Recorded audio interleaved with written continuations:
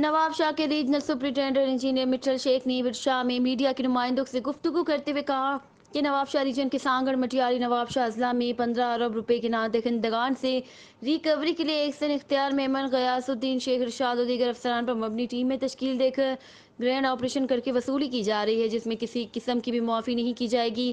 درجن افراد کے خلاف مختلف تھانوں میں مقدمے بھی درج کیے جا رہے ہیں۔ ان کا کہنا تھا کہ جلد ہی رینجرز بھی اس گرینڈ آپریشن میں شامل ہو جائے گی۔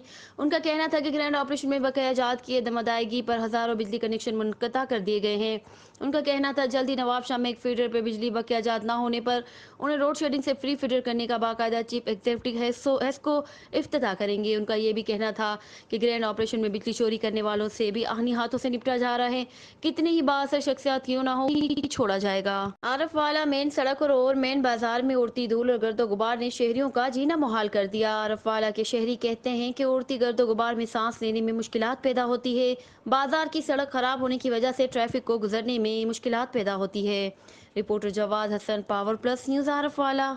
Jatoi کے نواحی علاقے موزا خال، تیرتن نہر میں ایک سین میپ کو ڈویژنلی پور، ملک، یعقوب گدارہ اور عباس ولہ کانسٹیبل، پنجاب پولیس سڑک پر غیر قانونی طور پر کٹ لگوا کر پانی چوری کرواتے ہیں۔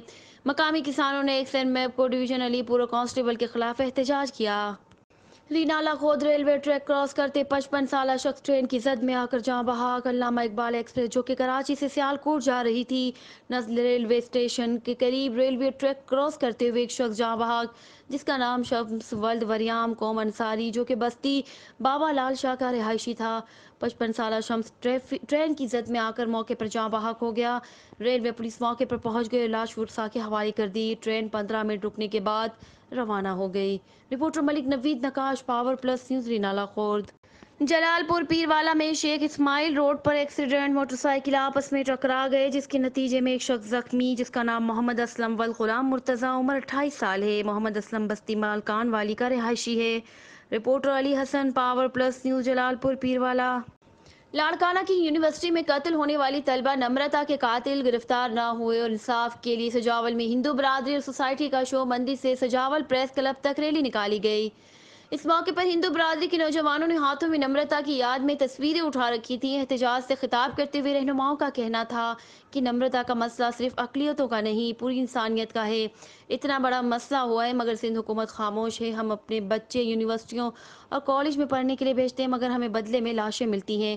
انہوں نے کہا کہ ہم آرمی چیف سے مطالبہ کرتے ہیں کہ اس یونیورسٹی کے وائس چانسلر کو بھی گرفتار کیا جائے، شفاف جانچ کروانی چاہیے، قاتلوں کو گرفتار کر کے ہمیں انصاف دیا جائے اس موقع پر نمرتا کی تصویر رکھ کر دعا اور پوجا پاٹ بھی کی گئی۔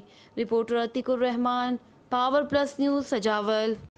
Renala Khurd کے مختلف علاقے ولی کالونی اور مہلکہ آبادیوں میں کومبنگ آپریشن کیا گیا۔ آپریشن کے دوران تیس گھروں سے زائد کی چیکنگ کی گئی۔ تقریباً تیس سے زائد مقامی اور کرایہ دار افراد کے قوائف چیک کیے گئے۔ آپریشن کے دوران قوائف مکمل نہ ہونے پر تین مشکوک افراد کو تھانہ سٹی رینالہ خود منتقل کیا گیا۔ مکمل قوائف دینے پر ان کو چھوڑ دیا گیا۔ آپریشن میں سی سی ٹی ڈی، تھانہ سٹی پولیس اور حساس اداروں کے اہلکار شامل تھے۔ Reporter Malik Naveed Naqqash power plus, news Renala Khurd تھانہ بوانا کے علاقے موزہ مڈل والا ٹٹا محمد شامی نوجوان کو غیرت کے نام پر قتل کر دیا گیا۔ موزہ کھیوا کے رہائشی یاسین وز اللہ بخش عمر پینتیس سال کا موزہ مڈل والے کے رہائشی سرفراز ول قوم ہنجرا کے گھر آنا جانا تھا۔ اور سرفراز کو شک تھا کہ اس کی بیوی سکینہ بیوی کے یاسین کے ساتھ ناجائز تعلقات ہیں۔ انہوں نے یاسین کو گھر میں باندھ کر تشدد کا نشانہ بنایا، جس پر زخموں کی تاب نہ لاتے ہوئے یاسین موقع پر جاں بحق ہو گیا۔ پولیس تھانہ بھوانا نے یاسین کو لاش کو قبضے میں لے کر پوسٹ مارٹم کے لیے تحصیل ہیڈ کوارٹر اسپتال بھوانا منتقل کر دیا اور دو ملزمان گرفتار کر کے مزید تفتیش شروع کر دی۔ رپورٹر ملک صدیق حضر مصطفیٰ پاور پلس نیوز چینی